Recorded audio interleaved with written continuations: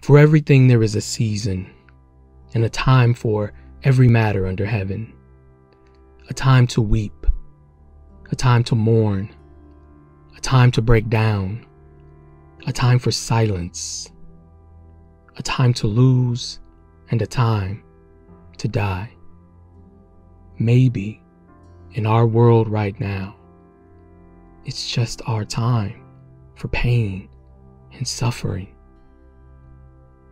But seasons change and troubles, they don't last always. Grace and peace.